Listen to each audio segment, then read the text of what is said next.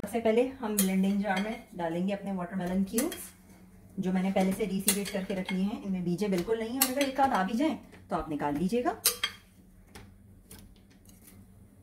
तो अब मैं डालूँगी इसमें रू अफ़ज़ा अब ये आपकी मर्ज़ी है। आप इसकी जितनी फ्लेवरिंग करना चाहें, उतना।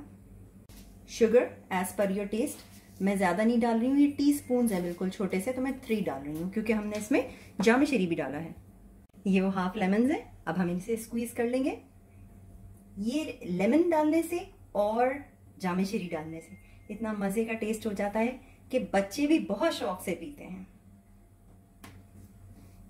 लेमन जूस के बाद अब हम इसमें थोड़ा सा वाटर ऐड करेंगे। ज़्यादा नहीं, बस थोड़ा सा ताकि ब्लेंडिंग जार में आराम से ये चल सके। ये देखिए।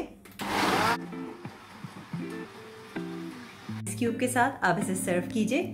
गर्मियों में ठंडा ठंडा तरबूज का जूस बहुत ही मज़े का लगता है।